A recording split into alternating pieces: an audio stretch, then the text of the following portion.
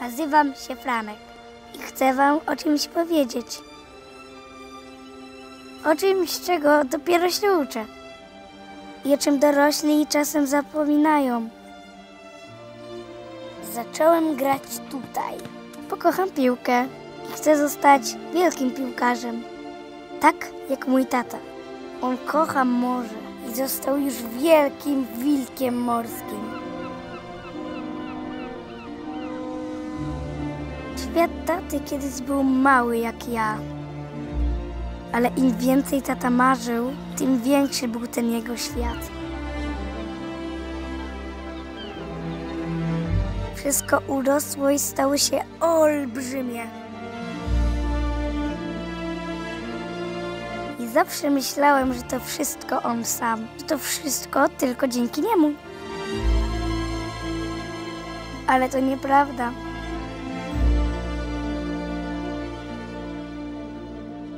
Tata mówi, że jest coś, bez czego to wszystko by się nie stało.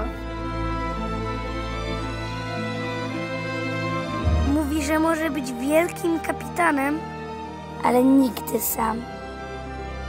I że nigdy nie mogę zapomnieć o drużynie.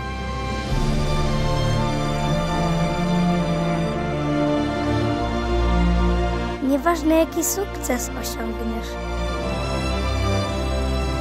Nieważne o co grasz.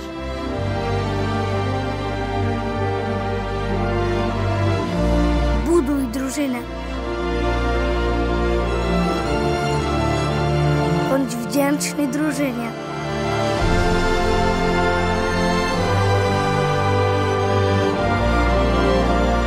I ciesz się, że możesz na nią liczyć.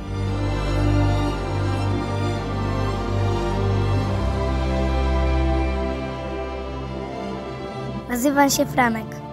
Jestem kapitanem i mam swoją drużynę. Jesteśmy portem. Jesteśmy drużyną.